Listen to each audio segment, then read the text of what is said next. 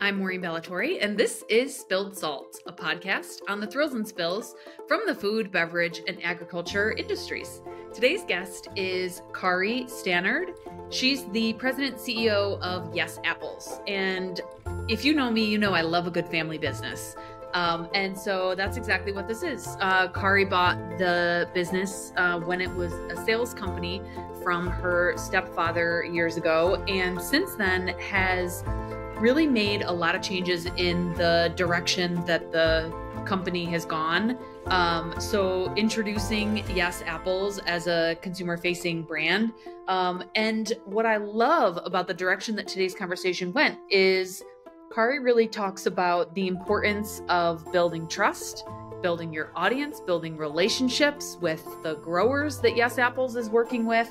Um, and then some of the other ventures that she has invested in as well. Um, as always, talking about challenges in the industry across the board and some of what's next for Kaari. Enjoy the conversation. Hey, Kaari, how are you? I'm great. Good morning. Thank you for joining me today. I'm going to jump us right in. You have been with Yes Apples for 26 years, but it wasn't always called that. So if you can give us a little bit of the background where it started, leading us up to today. Yes, it's been a uh, windy and a, a, twisty tale, I'd say. Um, so going back, I started actually not in the produce um, area. My stepfather uh, started dating my mother when I was probably around 10 years old he owned a apple company. He owned uh, orchards in uh, the east side of New York State, as well as a packing facility in Hudson, New York, and then the sales company. And I worked there um, during school breaks and that type of thing, and said, "Oh no, packing house is not for me. I'm going to go do something else." So went off to um, to college in Buffalo uh, met my husband um, at that point in time too at college, and we decided to move to Atlanta, Georgia. So I worked as a uh, CPA. I got my CPA license, graduating with accounting from University of Buffalo, and, and started working down there. And I guess that's kind of where family businesses kind of piqued my interest mm. because mm. I was an auditor and I was in a large regional firm. So don't think KPMG or one of those. Mm-hmm. I think mm-hmm. it now is a KPMG, been gobbled up. But back then it was a small local family auditing um, CPA firm. Anyhow, worked um, in a lot of small businesses auditing them and got really fascinated by the interworkings of, you know, just small businesses and all the different family businesses that are out there from making car parts for Saturn, which no longer exists, I don't believe, but for Saturn hmm. cars, uh, to you name it. Um, so when my stepfather asked me in 1996, 95 to come into the business, um, I jumped at it. And my husband, who also is from upstate New York, we decided to move back, started working in the business, uh, in the orchards with growers, didn't know a thing about apples, barely knew what a tree was.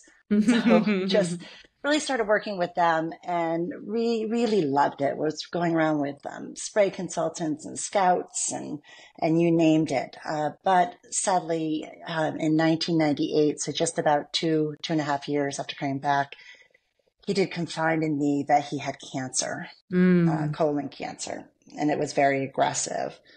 So I purchased the marketing company in 1999. He died in 2000. And then due to estate issues, families, etc., we sold mm-hmm. off the orchard, sold off the packing facility, but I retained ownership of the sales organization. And so you're using those terms interchangeably, right? Sales and marketing. You just called it the marketing firm, but I did, you know, and I I think what I want to refer to it more, uh, Maureen, is as a sales company back then. Mm-hmm. Yep. Life was a bit simpler. Mm-hmm. There were yeah. limited packaging. I can remember probably two different packaging. We had apples from New York, and then we had private label Shaw's or private label Hannaford or something along those lines. Mm-hmm. And we had limited varieties. So I mm-hmm. call it more of a more of a relationship transactional sales company back then yeah. than what we're doing today mm-hmm. with Yes Apples. So right. I'll refer to sales back in the early um, early 2000s. Yep. So then when I when I got into that, I really had to jump right into the day to day. Very little time to breathe. Had to make sure that I strengthened my relationships with what I perceive as my two customers, and that's what I always talk to my team about. You know, as part of our vision statement is yes, our vision is to supply high flavored, wonderful textured, high quality, amazing service to our retailers slash consumers, bar none. That's vision, very simple. One could uh, understand that. But our other vision is to provide all those same um, service, information, uh, information on food trends, uh, food trends rather, pricing to our customer, the grower. Because in the state of New York, I am now a grower, but I wasn't back then. Um, in the state of New York, what we do, well, any state outside of Washington state, you know, there are like 150 million. New York state's 30 million, let's say. Oh wow, Is- I did not realize that the gap was that yeah, great. the gap is that large. Wow. So what we have to do to compete is we have to, we put all these talented, exceptional growers together, family farms together to get a mass and get Mhm. size so that we can compete. With that size comes knowledge and comes Right. sharing of data. Um, so we have eight different packing facilities today and they really collaborate and share information just so, So- so we can compete. Right. And so before you get into more detail on Yes Apples and the, you know, the shift there from being a sales company to what you are today, elaborate for me a little bit on your relationships with your growers because do do you still you don't own orchards anymore and you're just sourcing from grower partners? So no, late um, after I started. So just to step back, when I started um, back in the day to day, I also started in, in building my team. Mhm. So as I've got this exceptional team that I still have, most of my employees have been with me 15, 20, you know, 20 years. It's a long standing team. After I was able to do that, then I was able to invest in orchards. So I do have grower partners and I own about 250 acres in Western New York. Mm. But to get size again, we've got to build because most of our growers have anywhere from, you know, 250 to a thousand acres. Right. Um, so those relationships have to be solid and Mhm. I believe them to be solid. So I spent a lot of time working with those growers. It's, it's a relationship, right? It's no Mhm. different than, you know, dating your boyfriend. It's, it's getting Mhm. to know them. It's gaining that trust Right. and it's, it's years of, of proving yourself, Mhm. Honestly. Yeah. So I do own now two packing facilities or interest in, not, not solely out, out but Mhm. interest in two packing facilities, which my partners are growers. Mhm. And um, I have three partner growers. Uh, so there's four of us who own the 250 acres out in um, uh, Orleans County. Gotcha. Okay, So- great. All right, get us back on track then for so you made those investments, you you're hyper focused on your various cust your two customers as you call it. Yep. You know, so to continue us forward there in the in the timeline. Yeah. So the so what we did is as I built my team, um, we were I was able to go out and like I said, invest in the packing facilities, invest in the orchard. Um, I also invested in a uh, company called Fruit Forward, and Mm. uh, that's a group of um, it's a guy from my office, my vice president of sales. It's growers from the state of New York, and it's also growers from Nova Scotia, Canada. Hmm. And what that is, a, that's an IP company because back when when all this was happening, you had the first of the new exciting varieties, which you'll know and hopefully love, of Honeycrisp. And Uh-huh. so, so that was launching, and that was taking the world by stage. Um, and really gaining some real interest in the uh, apple industry itself. Mhm.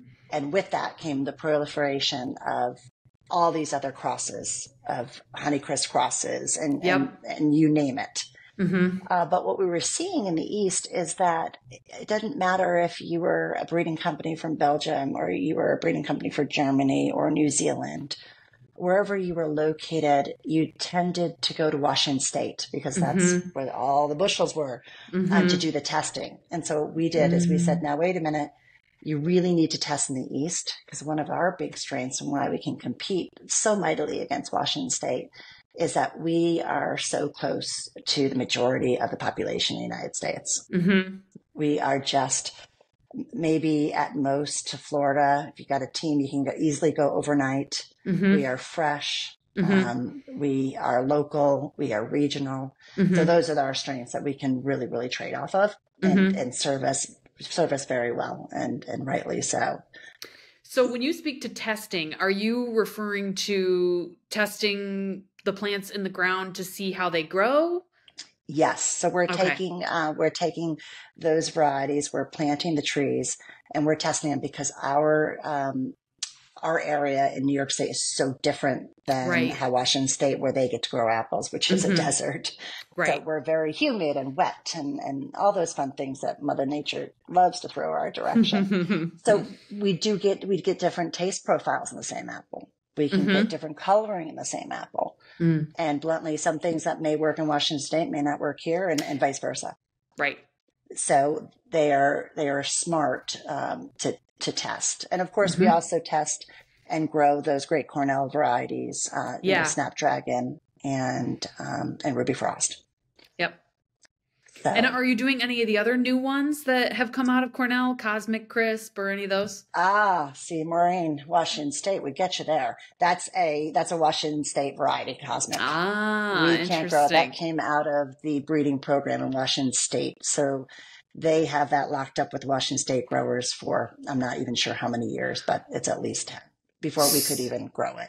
Ah, I see. So, and is that the same for Snapdragon and Ruby Frost too? That that's a New York State license? No, actually, um, they they could potentially, and that's not up to to me. That's up to Crunch Time Apple Growers Group. Right. But right. yes, I believe there's been some discussions Mm-hmm. uh, with Washington State, but I'm not um, on that board, so I'm not privy to those Right. discussions. Sure. Yep. That but makes yeah. sense. but a little yeah but a little bit different but we do grow other great varieties such as evercrisp and sweet Mhm. tango hmm another two other phenomenal varieties Yeah, and I don't want to get too much off on a tangent here, um, but I do think that it's important to help viewer or listeners understand premium managed apple varieties, which is what you're referring to. And so I Yes. worked years ago on Snapdragon and Ruby Frost under Crunch Time Apple Growers. You Oh, know, no which kidding. yeah, yeah, that's right Yep, okay four or right five years ago. Um, and so I'm familiar with that concept from that relationship, but previously I hadn't been. It was just a different apple in the store to me as a consumer, right? So can you speak to that a little bit, just defining premium managed apple variety and what that means? yeah there's um there there is there is a difference and um what it's hard to communicate to consumers but they have to realize is that growers pay royalties to the IP holder, the the uh, intellectual property holder. Um, in this case, uh, as we're talking about Snapdragon Ruby Frost, that's Cornell. So Mhm. Cornell has put through all this work and time and expertise in crossing these varieties and and and getting this flavor, and then providing for us to grow them. But Mhm. it comes at a cost. Mhm. So right. and it, and it can range for every every new premium managed variety has a different royalty structure. So I Mhm. won't get into any of the details. Yeah. there. Yep. But Yep, yeah, yes, it, it is different than a what we call an open release, like Mhm. um, you know, like a Honeycrisp was Mhm. an open release. Right. Yep. along those lines. Great. for Okay, sure. Thanks so- for clarifying that. Yeah. So orchards, packing facilities, Packing forward. facilities. You're continuing to grow the the organization. a fruit forward continue to grow. It was at this point in time that I just want to put a plug to all those um, women owners out there who may be listening. Um, the other thing that I did that was so important was um, I went out and tried to do something for myself. I said, I need some leadership skills here as well. Mm. So I was class 12 of the United Leadership Program um, through United Fresh. And it was at that point that not only did I learn a lot through their programs, but it was the first year that they had the most women at any given time, years previous that, so 11 uh, down to one the first year, they might have had one or two women. Mhm. In my year, we had five, including Mm. myself. And um, these women, I literally just spent the weekend with last last weekend. um, catching up, you just, you have to build that sound base. You have to Mhm. build that, that, that cocoon of, of trust of who you can go to and who you can say, is this a crazy idea? Should I not be doing this? What do you know about, you know, what's, what is, what is their reputation? You know, should, should they be trusted? Just, it's just so important. So Mhm. I just wanted to, to put a plug not only for that program. It's a great Mhm. program. There's other great programs out there to be found, Mhm. but definitely find your, find your people. Find your It's people. so- Couldn't agree find- more. And every every season we have a leadership coach um, that we interview on the podcast as well. So Oh, so cool. um, maybe we missed season two, but I can't remember. But anyway, um, Maria Cast is a leadership coach that I've worked with a lot over the years. I believe she was in season one and spoke to you know the the advantage of kind of learning to listen to yourself and what she calls your inner coach and that kind of thing. But Mm. I really 100% subscribe to that concept of finding your people and your peers that you can confide in and rely on to be your kind of gut check when your inner coach, you know, is kind of not sure, right? That So- you need so a sounding true. board. Yeah. Absolutely. Yeah. Absolutely. So really from that, you know, so it was building the team, Maureen. It was, you know, doing something for myself, um, like leadership we was talking Yeah. to about and building those relationships on the retail side as well as the grower side. hmm And then came, um, and then came, I, I'll say the, the pivot. So as we were going through all these changes in the apple industry as a whole with these new varieties, and it's getting so crowded Mhm. and, you know, you, you, you're talking to people in the grocery store and you're like, what variety do you like? And nine times out of 10, they say red delicious and you just want to scream and you're Yeah. like, look at all these other great varieties. Yeah. But you can also see from a consumer's point of view, heck, from my own point of view, you go into a store and you're like, what is that? I really have to look at that. It's a Yeah. bicolored red. That well, there's thousands of bicolored reds on that shelf. And we're struggling with it as an industry. Retailers are struggling with it. Consumers are struggling with it. And so again, going back to building the strong team, um, on a freelance level, I was working with a great gal, um, Tenley, and she is just amazing. And she came from uh, Fresh Direct. She was Mm. working at Blue Apron, and she was doing a lot of the, you know, shopper marketing. And I said, I need you come to my team because I need to cut through this noise, and I don't know how to do it myself. But I Mhm. just do not know how to do it. But you knew it had to be done, right? And, even that is a Yeah. is a unique thing to recognize that I've got to do Thank you. something new and different here. Thank you for saying so. So, so brought her on and we said, what are we going to do? So we came up, um, she and I and the team came up with Yes Apples. And we said, what we want to do is we want to build a brand. There are, there really aren't, there are very few brands that one can speak of in the produce. One could argue Chiquita, one could argue Dole, uh, um, uh, uh, Driscoll's is powerful. Um, but New York apple sales, that's not a brand. Like to a consumer, what is that? New York apple sales. It sounds like, I mean, anything. Mm-hmm. So we came up with Yes Apples. And what we wanted to do is we wanted to be able to talk to directly to the consumer to the best of our ability. And again, back to that trust and build that trust with them that, well, yes, it's confusing on the shelf. And yes, there's a lot out here. If you pick up that Yes Apple Mm. bag or you pick up that Yes Apple apple that's loose with the, with the PLU sticker, Mm-hmm. it's going to be a great eating experience. Mhm. You're going to be wowed. And that's Mhm. what we, we try to do. Do we sometimes fail? Of course. But what we Mhm. have is we have a vehicle now that the consumers can write us. And do they write? you know? Oh, really? You get a lot of feedback? yes, we do get feedback and we get, this was great. This was incredible. Or we get something like, oh, I didn't like that, you know, and it Mhm. just gives us feedback because we have Mhm. traceability in our bag. We'll go back to the consumer and we'll say, can you just bring me the traceability sticker? Mhm. That ties right back to our packing shed. Packing Mhm. shed can tie it right back to the date it was packed. Yep. And we could say, you know, what do your records show on that? What, what, what, where do we maybe fail here? Mm-hmm. What Yeah. were you seeing? So Yep. it's just a lot more accountability. Yep.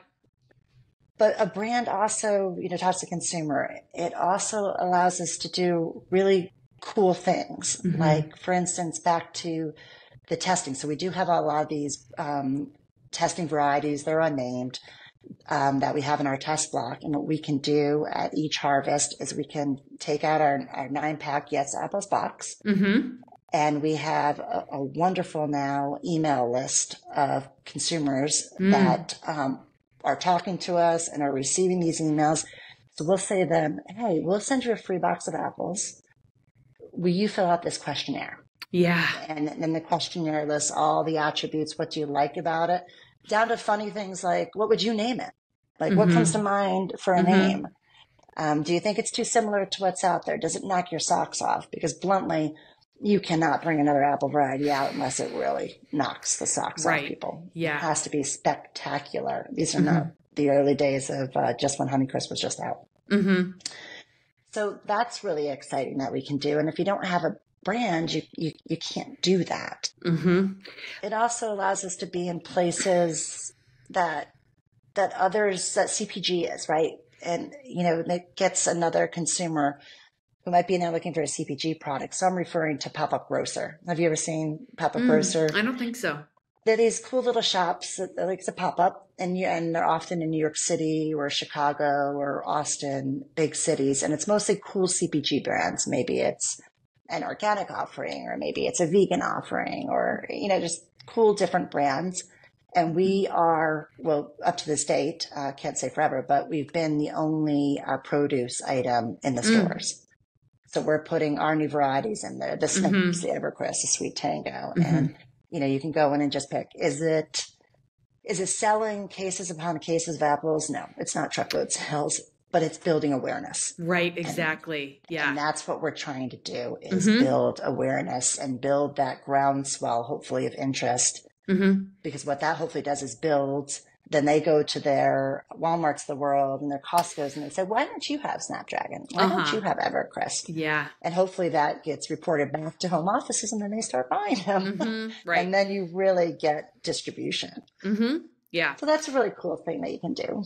I love that. The the thing I want to point out for listeners and just bring back to you too that is so unique and important is the stress that you're putting on building a relationship with your audience to be able to have that email list of built-in consumers and engaging with them in an above and beyond kind of way is something that even though a lot of brands understand the importance of that, they kind of fall short on understanding how to implement it, right? Whereas how, I've got this list of engaged consumers, but how do I how do I get feedback from them, right? Whereas Yeah. you're Yeah. you're taking that all the way to say we're planning these these test plots of these apples and we want feedback and we're going to go to our own list to see what they have to say and just survey them right whereas i think some sometimes brands make that more complicated than it needs to be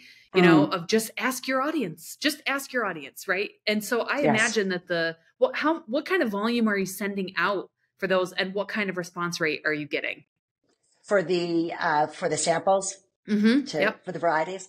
I think the last time we sent out, we sent out an apple variety that's coming um, out of Australia. It's called uh, right now called Saluna, and I think she sent out about uh, 80, 80 boxes. Mm-hmm. And I think our return rate of responses was around 50%. That's so remarkable. It's, it's not a hundred, but it's but it's not ten. You're never right? going to get a hundred, right? Uh, right. Yeah, a fifty percent is response rate is remarkable for that kind of thing. So, it's really great. Yeah, that's great to hear because I know you're you're absolutely in that field. So that that was great. And Tenley too said, "Kaari, it's great," because I said, mm-hmm. "Huh." right. Like you're thinking, why isn't it 100? What, what, do you mean? Why wouldn't they answer me? right. Yes. Yeah. You know, and really it, great. It's again about the grassroots. We're trying to do things um, like the New York Apple Association sponsors the New York City Marathon, which I think is, is super cool. So we've tagged on to the Roadrunners Club, and so we'll we'll donate apples to them so that after after their race they can taste um, taste our apples and hopefully. You know, talk to their friends, right? Look at what I got. I got a free Mhm. apple, you know, Mhm. that Yeah. type Right. of thing to keep Right. that up. And I'll be wearing, uh, just a plug here, Maureen, if, if you if you want to come cheer me on, I will be with my family running the New York City Marathon this November. Wow, wearing good for you! All my Yes Apples decked out swag that I'm sure Tenley will put me in. so, of course she will. Of course she will. oh, that's great! Oh, I love that. Good for you. And so, I think one of I just want to say one other thing, one other yeah. great thing that we have done that is different. You couldn't do without a brand. Mm. Is have um have you heard of the Avec juices? It was you read my mind. That was the next question you don't I was have just going to ask alcohol you. With them, you can drink them as is, but they're they're super cool, and we partnered with them to do a Yes Apples, Avec uh, fruit, uh, Fuji rather, apple and cardamom mix, and mm-hmm. you can find it at Sprouts right now, and also at Wegmans. Um, so that's kind of cool. It's putting yeah, us into an area where we can't be. We're not right. non central center store. So yep, so talk more about Sorry, that. I get very excited talking about Yes Apples. no, that's great. Tell me more about the partnership with Avec Drinks. Like what what how did that come about? You know, who initiated that? What was your what was your process there? That was um Tony Tony was seeking them out. She works um I believe and I hope I don't get this wrong, but she works with we, we hire uh, Circle Media to do um, mm-hmm. a lot of our social media work that we do. That's another way that we talk to our consumers is mm-hmm. uh, through a lot of different either Instagram, Facebook, TikTok. And they were an also partner there. And so mm. she looped up with the with the uh, founder, I believe, of Avec. Mm-hmm. This all came to be, and it's we've mm-hmm. now on our third um, different uh, or third juicing. So it's it's going really well, and it's uh, you know super exciting. Yeah, that's fantastic. That. Glad to and hear that gonna, it's at Wegmans. I'll get I'll look for that yes, next time please, I'm in store. Please go check it out. Yeah, absolutely. I want to ask you also about something unique that you're doing too. I talk a lot about the Grow New York competition. Big fan of that yeah. as a an initiative in the state of New York to attract more food and ag tech uh, companies to the region and you're a judge. Can you yes. speak to that experience? What's that like? That that was uh, amazing. So I was approached about um, three years ago uh, to do it. I'm, I'm in my second year, just finished my second year. Um, you know, it's through you know through Cornell and of course through the state, and it's just so interesting. I jumped at it. I was like, mm-hmm. oh, this is this is just amazing and it's all these new startups and it can be you know anything that benefits um, central New York, right? You've got to mm-hmm. you've got to have jobs. You've got to you've got to you should solve a solution or have a solution for a problem, you know, potentially within the state. So a lot of it, mm-hmm. a lot of times dairy. We have such a big dairy industry, right? Um, I had the honor of I did abstain um, because I, I was working with, but uh, a company called Vivid Machines mm-hmm. who is doing this wonderful work um, for counting of apples and counting of blossoms with mm-hmm. uh, with their cameras. Um, they won two years ago. It's just, um, gosh, Maureen, what can I say about it? It's just so, it's just so interesting and such great work. Mm-hmm. Um, yeah, I, am honored that uh, they chose me and that I've been the judge, and I'm coming back next year as well. So it's really cool. That's awesome. I love it tell me about challenges. You're you're speaking to a lot of you know ways that you've kind of innovatively solved a lot of problems or challenges that you saw in the industry in terms of you mentioned you know it was getting so crowded with mm. all these apples that were in the store and so you decided i want to do something new and different and then you worked with the team to solve that. What are some of the other challenges that you're still seeing in the industry? Yeah so a lot of my attention um, again, very blessed that I have the team. So what I've been doing is I've been shifting a lot of my day to day work, um, over, you know, over to others as it should be. And mm-hmm. I'm focusing more and more of my time on larger strategic thinking of how do, how do I, because in the supply chain, because we're not totally vertically integrated, just because of our model, because of our state. And, mm-hmm. you know, within our state, I should say we have uh, four very diverse growing regions. Mm-hmm. You know, you have Western New York, Central New York, the Champlain region, and the Valley. Um, and then the Valley can span anywhere from Albany down to Newburgh. So you've got all, all these different groups. So it's very important that every single segment of that supply chain adds value. There, mm-hmm. there can't be any takers. There, mm-hmm. there has mm-hmm. to be a sharing around the chain or it will not work. So what I'm focused on right now as, as we, as we go into more and more potentially of, of oversupply. We just have a lot of apples being grown now because, you know, growers have proliferated quite a few apples. So what we need to do is grow consumption. Mm-hmm. And so what I need to do, and so I believe we're doing that with, uh, with our good work with Yes Apples and we'll continue down that path and talking to our consumers. Mm-hmm. But we also need to do is we need to get more efficient. So mm-hmm. how do I basically impact the supply chain to get more efficient? So what I mean by that is I'm focusing a lot on data. Mm-hmm. So I'm investing money into for instance, for our packing uh, facility into uh, ERP systems is how do we get better software into the packing facilities mm. so that they're operating more efficiently.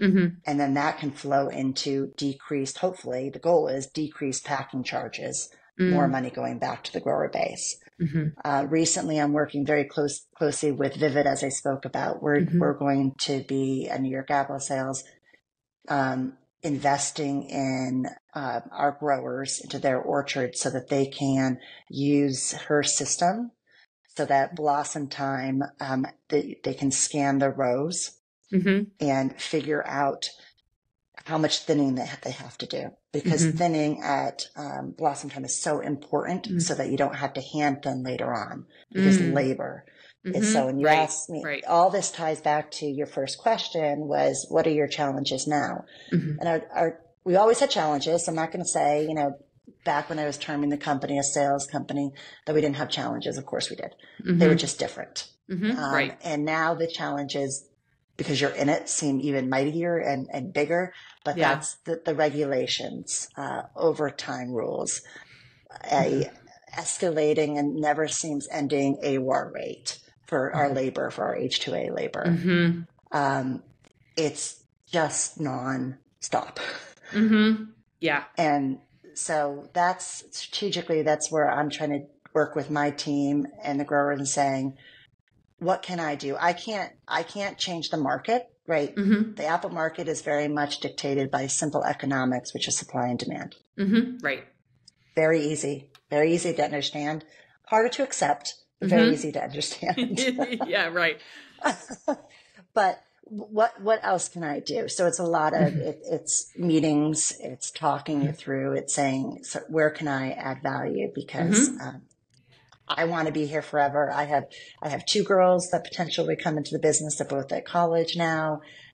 I see a bright future, and I need our grower base to be there right along with me. Yeah, yeah.